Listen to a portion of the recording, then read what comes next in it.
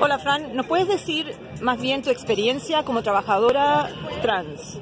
Eh, bueno, es muy precarizado lo, lo, los poco y nada de trabajo que hay en Chile para las mujeres trans, para las personas trans en general.